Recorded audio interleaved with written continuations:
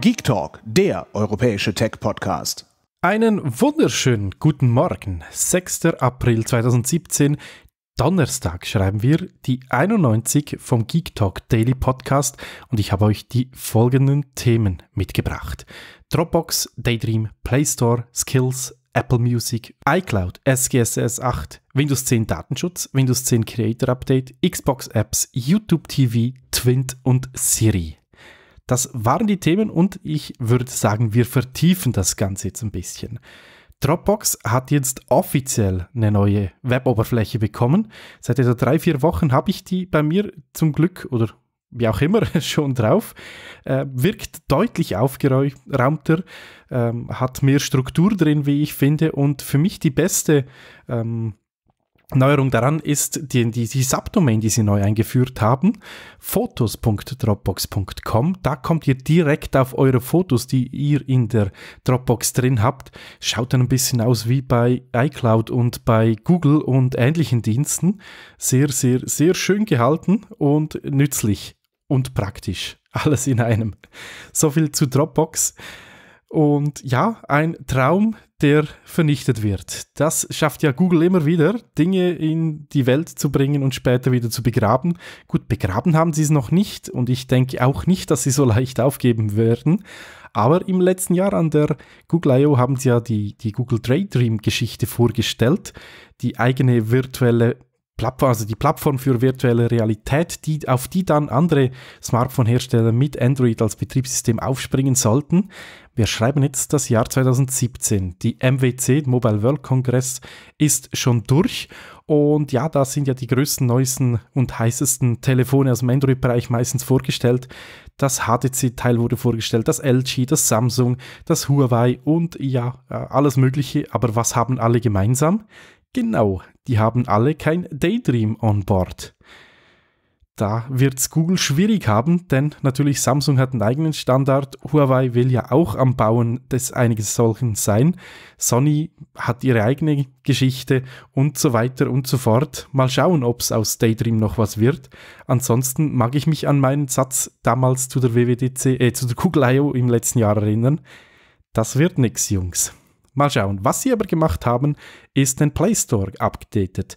In der Version 7.7 gibt es einiges Neuigkeiten.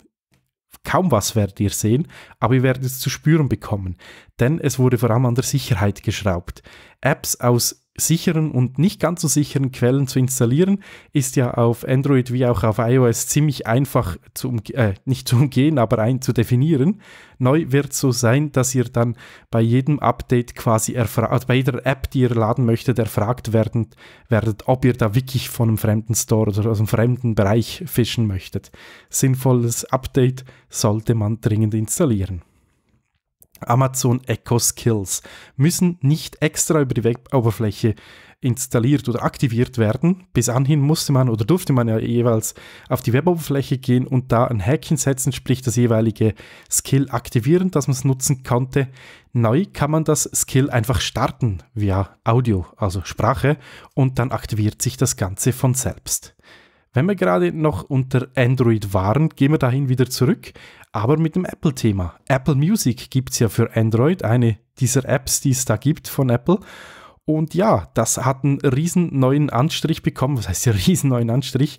Das, was Apple unter iOS mit dem letzten großen Update im Herbst gebracht hat, kommt jetzt endlich auch auf Android. Wer den Dienst nutzt, und das sind ja nicht unbedingt allzu wenige, zumindest in den Staaten sind es recht viele, der soll, äh, wird das sicherlich darüber freuen. Das Update, welches ich gestern erwähnt habe, oder vorgestern, nee, ich glaube, ich war gestern, iOS 10.3.1, wenn ihr das installiert habt, solltet ihr euch vielleicht eure iCloud-Einstellungen anschauen. Apple rät da vielleicht mal einen Blick reinzuwerfen, weil beim einen oder anderen, zum Beispiel meiner Frau, hat sich das so ergeben, dass zum Beispiel der Kalender plötzlich wieder aktiviert wurde, obwohl man den eigentlich vorher nicht mehr genutzt hat. Ein bisschen Android- und iOS-Thema, nee, ist ein bisschen ein Samsung- und iPhone-Thema. Das SGS 8 kommt oder wurde ja vorgestellt, der Markteintritt steht kurz bevor und die ersten Tester haben ja die Geräte schon, sprich an der am Event selber wurden die Dinge ja verteilt und da hat einer einen Geekbench-Test gemacht. Geekbench, für diejenigen, die das nicht kennen, das ist ein kleiner Benchmark-Test, mit dem ihr Devices wie eben Tablets, Computer und so weiter testen könnt auf die Geschwindigkeit, also wie gut, dass die Prozessoren mit dem Betriebssystem, auf dem sie laufen, funktionieren. Und da ist schon seit langem der Apple-eigene Prozessor sehr weit vorne, zumindest was Single-Core anbelangt. Bei Multicore gibt es den einen oder anderen, der es übertrifft. Aber im Single-Core schlägt das iPhone auch das SGS 8 und zwar ziemlich heftig. Es ist nicht nur das aktuellste iPhone 7 und Plus, sondern auch das iPhone SE und das iPhone S 6S. Also ziemlich, in Anführungsschlusszeichen, alte Geräte, die im Single-Modus laufen.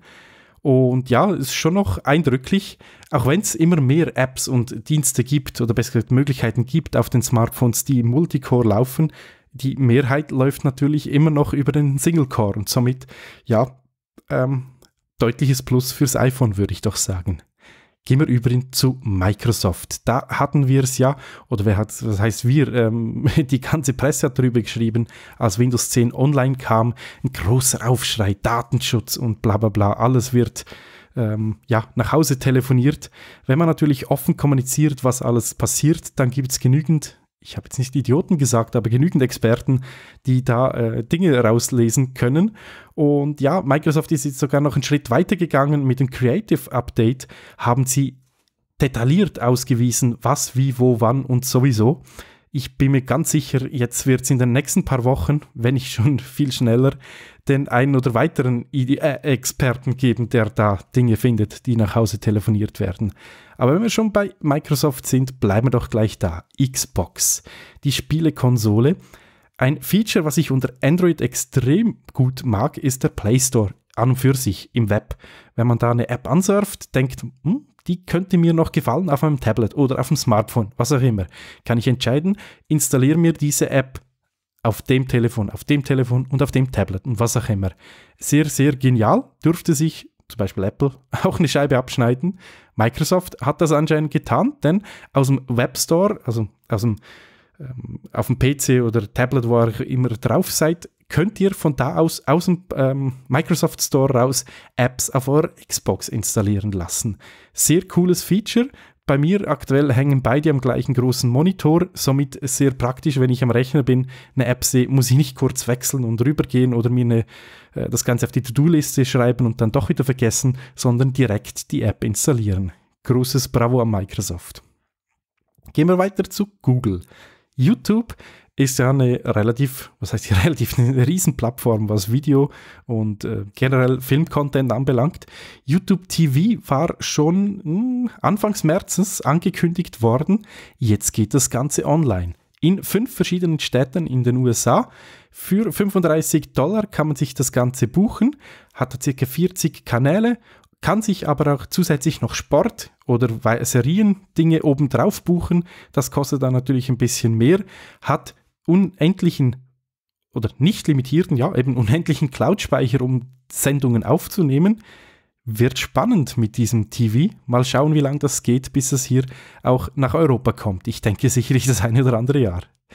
Twint, die alternative Bezahlmöglichkeit auf Smartphones, namentlich iOS und Android, hat endlich das neue Update bekommen und die App sieht jetzt endlich auch mal ein bisschen normal aus. Was mich immer ein bisschen an Twink gestört hat, war die äh, Bedienmöglichkeit, die war ziemlich zu all den anderen Apps, die es so gibt, gegensätzlich und ich muss mich immer zuerst äh, zurechtfinden, auch wenn ich sie relativ häufig nutze. Das hat sich jetzt alles geändert. Ob das am anderen was ändert und wie viel mehr Benutzer das sie jetzt bekommen dadurch, das wird sich zeigen, denn die ganzen Dienste oder Banken kommen ja erst mittlerweile oder nach und nach jetzt dann dazu.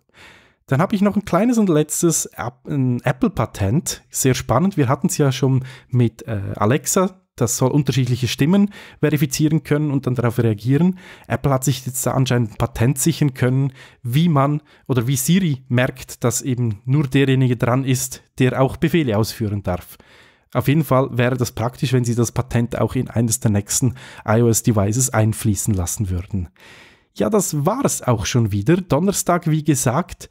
Ähm, ein kleines habe ich noch. Wer Windows 10 das Creator Update haben möchte, man kann es jetzt manuell ankicken.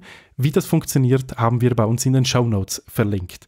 Und ja, wie gesagt, Donnerstag, morgen habt ihr mich nochmals und dann übergebe ich äh, das Zepter weiter. In diesem Sinne, euch einen wunderschönen und vor allem erfolgreichen Tag. Euer Pokipsi. Bis dann. Tschüss. Hört mehr Geek Talk.